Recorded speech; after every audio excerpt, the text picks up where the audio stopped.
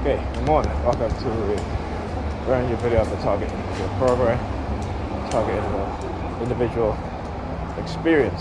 So, again, I did a quick video last night uh, before I went to lay down and eventually I fell asleep. Heavy bombardment yesterday of noise campaign, you know, police sirens, such and such. Again, this morning as I got up within a few minutes of waking up, we start with the noise campaign again. And uh, also, I went on Facebook.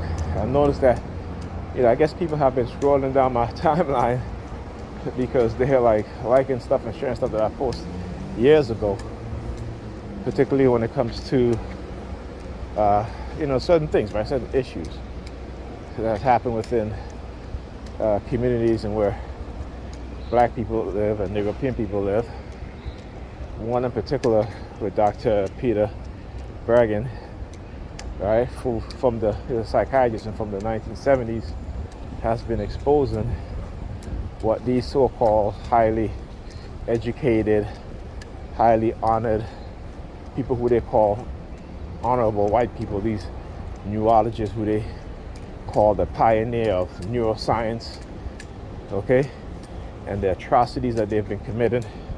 Again, getting awards and pat on the backs and saying good job, you know, while targeting uh, human beings and particularly uh, black boys within urban cities.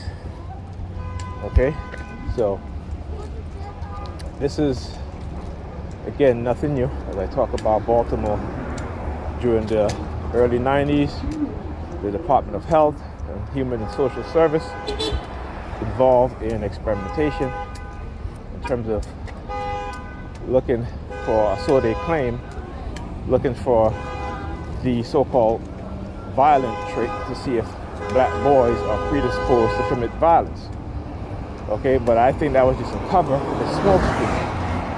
And what they were really doing in terms of uh, collecting DNA samples from black boys is actually in developing uh, weapons based on our DNA. Okay? And I'm going to tell you why. When you read about doctors in South Africa who are also working, uh, I should say scientists in South Africa, who was also working on DNA weapons, or weapons based on your DNA to target a specific group of people, a specific ethnic group. Okay? It was targeted towards black people right? So this is why, like I said, whenever they start hitting us with silent sound, you know, directed energy weapons for mind control, particularly when they start targeting kids, it is based off, in my opinion, also DNA. Okay, so not also being implanted, but also based on your DNA. And the book I just got was called uh, uh, Controlling Human Beings for, Pol- for Political and uh, I forgot the other part of it, but it's by Dr. Nick Begich. And if you read it, you'll understand how they use frequencies. Okay? Because everything, see, they have gotten to the point where we're moving into uh, medicine using in terms of healing, uh, curing certain diseases, using frequency based treatment. Okay? And so when you start to see, like I said, the 23andMe's, you know, being bought by private equity firms in which those within the government can have access to millions of people's DNA. Okay?